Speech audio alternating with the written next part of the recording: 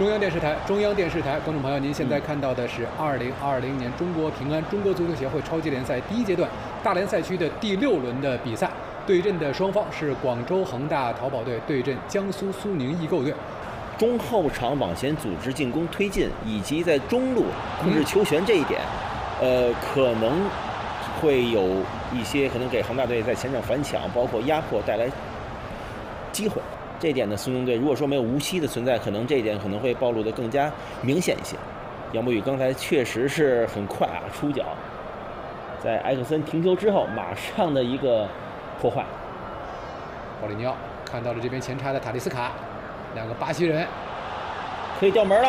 哎呦，这一下给的幅度太低了，埃克森。何超。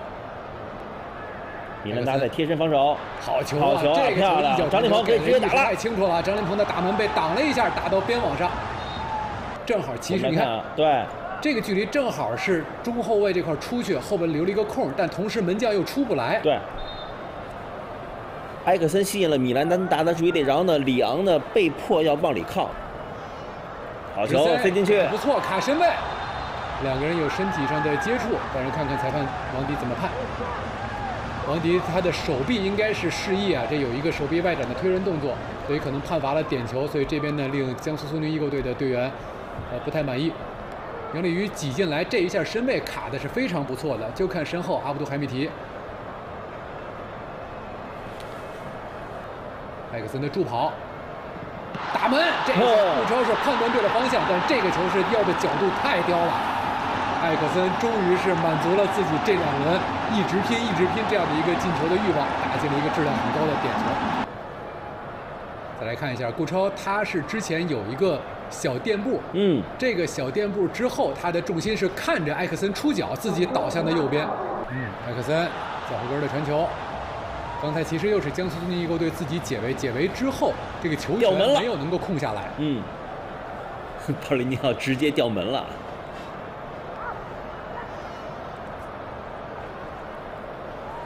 我们的中超联赛呢，之前有数据统计是四点零几秒，好像是四秒钟左右，这相差不到一秒钟。但是好像这一秒钟时间看起来很短，但是你把它放大成为一分钟的话，那就差将近二十脚传球。后边吉祥，特谢拉，哎，特谢拉这个球给的很贼，但是这个球在中路埃德尔包抄的时候啊，球也有一些这个来回的反弹。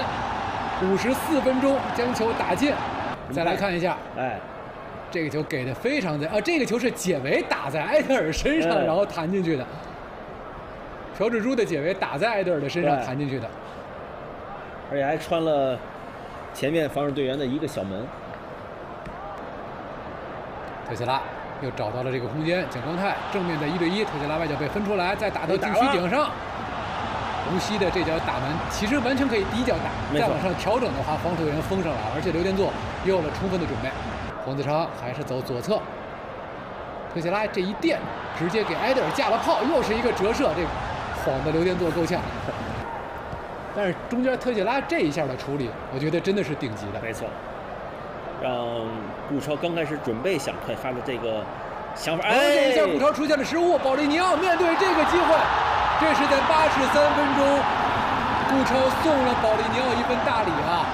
这个手抛球怎么能够出现这样的失误呢？无论是顾超出球，还是包括在另外一侧这个杨博宇拿球啊，都很难受。而且这个球，啊，这个球呢，咱们从技术角度来说啊，第一呢，场地可能确实有些不太平，所以球是弹进来了。另外呢，从个人的运用的习惯上来说，顾超是一个右脚队员。那右脚队员其实可以完全的让过来，右脚去推。对，你左你左你左脚顺着球去推呢，其实很容易出现失误。而且现在足球的发展呢，是守门员在场上一场比赛用脚触球次数更多。无锡的做球架空门了，点特谢拉，最后差了那么一点点啊！又是出现一个射门之后的身体上的折线啊！再来看一下这一下，其实，在中间特谢拉吸引防守之后，无锡的做球给的相当不错，但埃德尔这脚打门，就是这三个人串联。而且我们看看，特谢拉传球之后，他还是没有停，依然在去前插。还剩最后一分钟的时间，广州恒大淘宝队呢还有还有机会吗？又是保利尼奥的传球，中以后自己打门，这个球被挡了一下，在门线上被拦住了。好，这个时候主裁判王迪吹响了全场比赛结束的哨音，这样在这场比赛当中，广州恒大淘宝队在少一人作战的情况下，最终以二比一的比分击败了江苏苏宁易购队。